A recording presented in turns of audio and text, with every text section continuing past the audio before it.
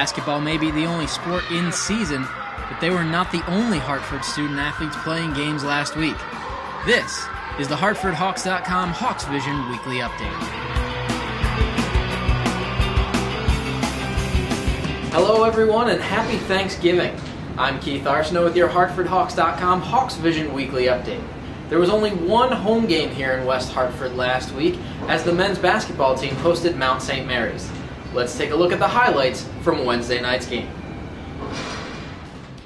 The Hawks took the lead early in the game as Genesis Maciel finds Clayton Brothers for the lay-in. Hawks led 4 to 2. The Hawks were looking good here as well as Mark Nwakamma, the freshman, knocks this one out of bounds on the fast break. Nwakamma had two blocks on the night. However, Mount St. Mary's came alive in the first half. They go on an 11 0 run to take the lead. Here's Josh Castellanos with the deep three. Mount St. Mary's led by 22 at the break, but the Hawks tried to fight back in the second half. Nate Sikma in the lane there, two of his team high 10 points, driving to the lane here again with another two. Sikma all over the court in the second half, dishing to Corbin Rowe two of his 10 points.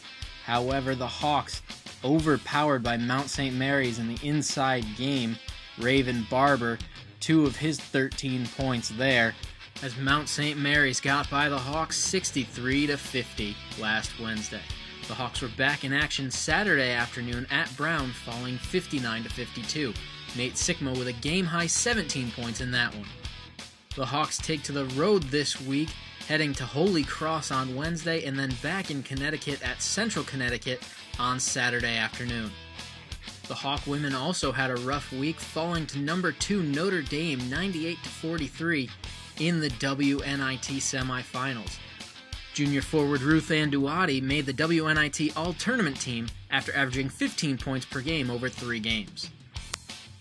The Hawks host Central Connecticut on Tuesday night before heading to a post Thanksgiving tournament in Orlando, Florida, Friday and Saturday. Basketball may be the only Hartford sport currently in season, however, those teams are not the only teams keeping busy. Hawks Vision takes a closer look at a group of student athletes who took an afternoon to visit a local Boys and Girls Club.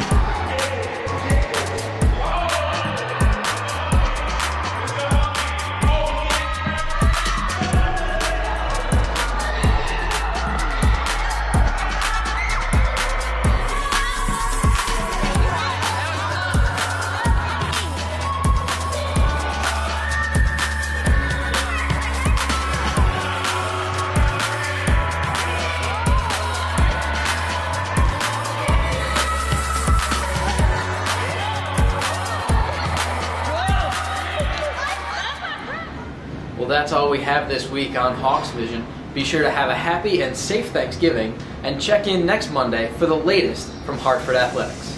For HartfordHawks.com, I'm Keith Arsenault.